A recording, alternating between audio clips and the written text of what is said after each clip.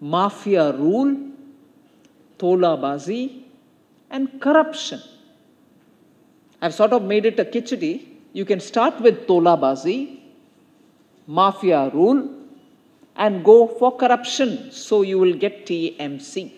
লোকসভা ভোটের মধ্যে দফায় দফায় রাজ্যে এসে তৃণমূলের বিরুদ্ধে সরব হচ্ছেন Narendra Modi, Amit Shah JP নাড্ডারা।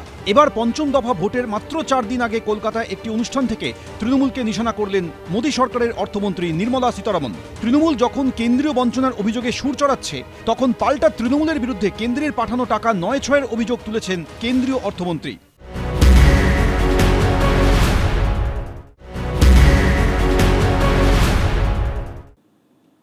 That most of the C part of the corruption of the TMC is sucking out money from schemes which are meant for the poorest of the poor.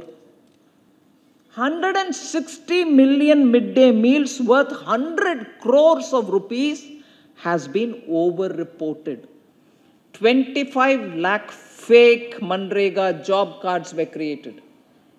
Work which cannot be taken up under Manrega was taken up. Public funds were used for private tea gardens for Manrega. जिनसे वो गलत पैसा गया उनसे पैसा वापस नहीं लेते हुए दोबारा स्टेट के खजाना से उस पैसा को ले आकर के आप भरपाई किए তিনি কি ভুলে গেছেন তার নিজের প্রতিদেব তিনি বলেছেন, এই পৃথিবীতে এই শতাব্দীর সবথেকে বড় আর্থিক দুর্নীতি হচ্ছে ইলেকট্রাল বন্ড তিনি কি অস্বীকার করবেন? নির্মলা দেবী কি ভুলে গেছেন যে সবথেকে বেশি ফেক জব কার্ড পাওয়া গেছে উত্তরপ্রদেশে? এবার লোকসভা ভোটে বিজেপির অন্যতম অস্ত্র, সন্দেশখালী। নারী নির্যাতনের অভিযোগ থেকে ভাইরাল ভিডিও ঘিরে বারবার শিরোনামে উঠে এসেছে এই জায়গা। বৃহস্পতিবার সন্দেশখালী ইস্যুতেও আক্রমণ শানান নির্মলা সীতারমন